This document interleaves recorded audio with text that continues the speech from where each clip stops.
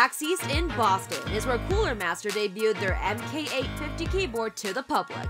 Here's what people had to say about the game-changing aimpad technology. First impressions on it are really good. I mean, I think that there's a few really innovative things about that keyboard you're not going to get anywhere else. Like you've got the, the pressure-sensitive movement. Um, that's something that, you know, freeing up that extra hand so that you don't have to press shift to control walk or something like that. That's going to go a long way it gives you that nice bridge into getting that slow functionality of creeping around a corner.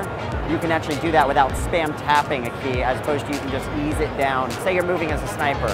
You want to move a little bit, but you don't want to make a ragged movement that alerts people to your location. This will be a huge advantage to that gameplay.